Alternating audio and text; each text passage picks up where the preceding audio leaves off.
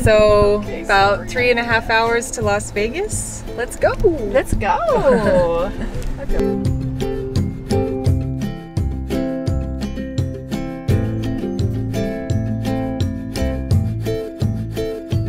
Morning! Well, the sun beat us to the punch with the whole waking up thing this morning, which is okay because I've been so jet lagged, been sleeping like six hours a night. But we got 10, 10 hours last night. Now it's breakfast time. Breakfast. Breakfast time. Good morning. Good morning. So, pro tip if you're not very good at planning ahead, like me, and you want to come to a really popular park like Zion, there's a camping ground at the Quality Inn, which is just near the south entrance. So that's where we are camped, and we have that awesome riverside campsite. It's like 40 bucks a night, but that's kind of standard. So it's not a bad option if all the campgrounds are full.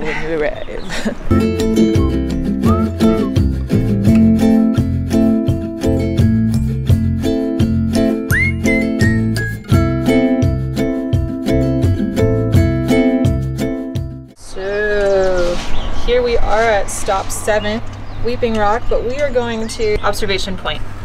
Angel's Landing is the more popular hike in the park, but we did that 10 years ago. Ah, So- not time yet.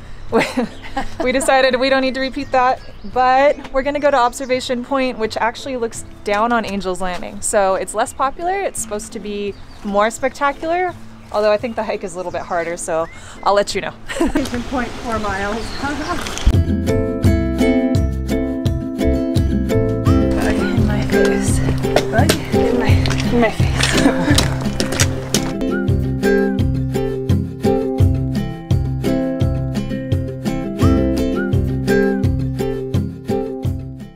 knows a thing or two about rocks.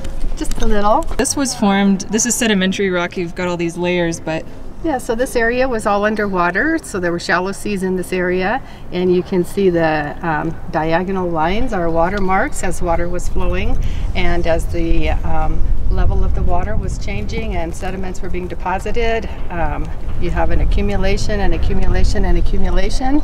I, you're in this area for about uh, uh, six million years of the sediments, and you can see how they build up over time. Did I have them in my background? uh, that's okay. Mom, you should be a tour guide. Oh, thank you. I would love to. rock tour guide.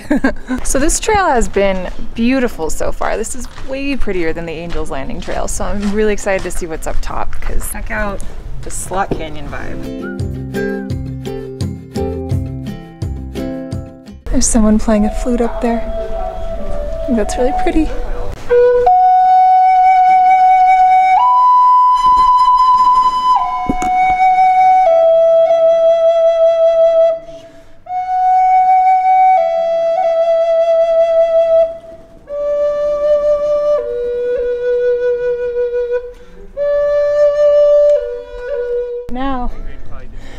Definitely in the sun. If you do it, bring a hat and sunscreen and lots of water. About a mile from the end now, and that's how it's looking. It's pretty cool already. This is the moment. We've made it to the end of the trail and so have a few other people. I'm excited to see the view.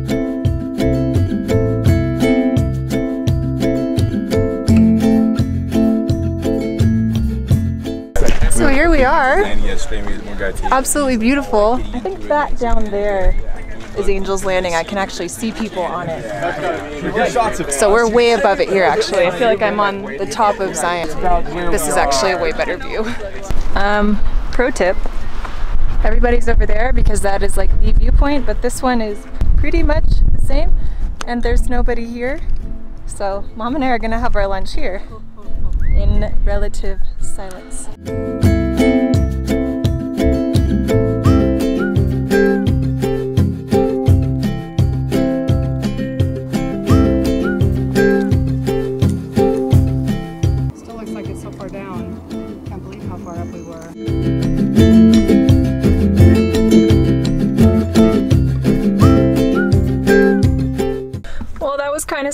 Said goodbye to mom because she's got to go back to school. She's teaching. So um, I'm going to be doing the rest of this trip solo, which is fine. I travel solo all the time. So uh, next stop is Bryce.